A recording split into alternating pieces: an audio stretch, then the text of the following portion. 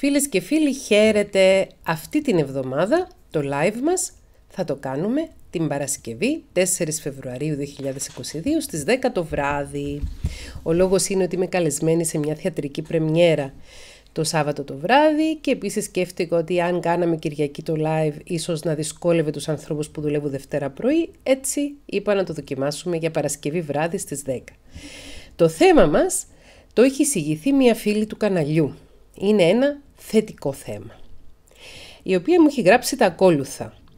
Παίρνω το θάρρος να μοιραστώ μαζί σου κάποιες σκέψεις μου για ένα πιθανό θέμα κάποιου live. Το live που έκανες για την ευτυχία μου άρεσε πολύ. Με αφορμή αυτό σκέφτηκα το θέμα αποδοχή απώλειας και ευτυχία. Πολύ ωραίο θέμα. Αποδοχή απώλειας και ευτυχία. Με τον όρο απώλειες της ζωής αναφέρομαι στα ανεκπλήρωτα όνειρα, τις χαμένες ευκαιρίες κλπ. Βρίσκομαι σε μια φάση ζωής που αισθάνομαι ότι με γνωρίζω καλύτερα από ποτέ, λέει η φίλη. Αισθάνομαι ότι εφουγκράζομαι τα συναισθήματα και τις ανάγκες μου καλύτερα από ποτέ. Επίσης αισθάνομαι αρκετά άνετη με τις απώλειες της ζωής. Αυτά βέβαια δεν σημαίνουν πως δεν έχω ακόμη δρόμο μπροστά μου. Ο δρόμος της αυτοβελτίωσης έχει πάντα πορεία μπροστά. Συμφωνώ.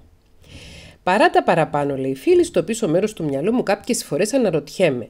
Όντως αποδέχομαι την κατάσταση ή μήπως απλώς καταπιέζω συναισθήματα. Παλιά το έκανα αυτό, λέει. Μήπως τα γεράματα με πιάσει κάποια μελαγχολία; Με τη λογική έχω απάντηση σε όλα αυτά. Πλησιάζω τα 50 και είμαι στη φάση που αισθάνομαι ότι δεν έχω άλλο χρόνο για χάσιμο με σκέψεις για υποθετικά σενάρια που δεν οδηγούν πουθενά. Παλιά ήμουν περισσότερο της υπερανάλυσης, λέει φίλοι και είμαι σίγουρη ότι πολλοί από εμάς και πολλές από εμάς ταυτιζόμαστε. Τώρα νιώθω ότι δεν έχω χρόνο για χάσιμο και είμαι πολύ πιο συντονισμένη στο τώρα. Κάπου είχα διαβάσει πρόσφατα ότι η ευτυχία με βάση τις οικονομικές αναλύσεις, τις αναλύσεις της επιστήμης των οικονομικών λέει ξεκινάει ξανά στα 50 ευτυχία. Το συζητήσουμε αυτό το Σάββατο. Με βάση αυτή τη στροφή, ε, τη στροφή στο εδώ και τώρα.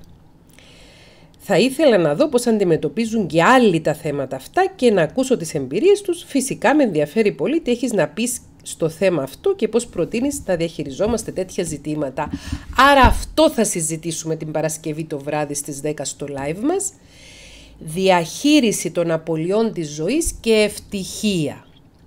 Πώς τα χαμένα όνειρα που είχαμε παλιότερα δεν επιτρέπουμε, δεν επιτρέπουμε να έρθουν τώρα να δημιουργήσουν ζήτημα στο παρόν μας.